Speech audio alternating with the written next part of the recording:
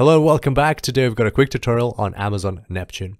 Neptune is a graph database and it allows you to store data such as this, where we've got relationships between different elements. So the elements uh, are called nodes and the relationships between them are called edges. And the graph database stores both the nodes and the edges and it's capable neptune is capable of storing billions of relationships and you can query the graph with millisecond latency.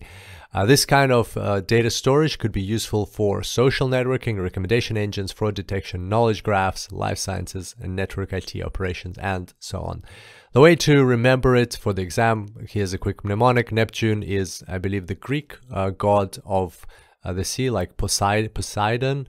Uh, no poseidon was greek neptune was um, Roman, I believe. So you can see he's got a trident, and the trident looks like a uh, fork in terms of like um, a graph, relationship graph. So maybe that'll help you remember it. And that's pretty much it. That's all you need to know for the exam. Here's a quick summary of ne what Neptune is all about. I look forward to seeing you back here next time. And until then, enjoy the cloud.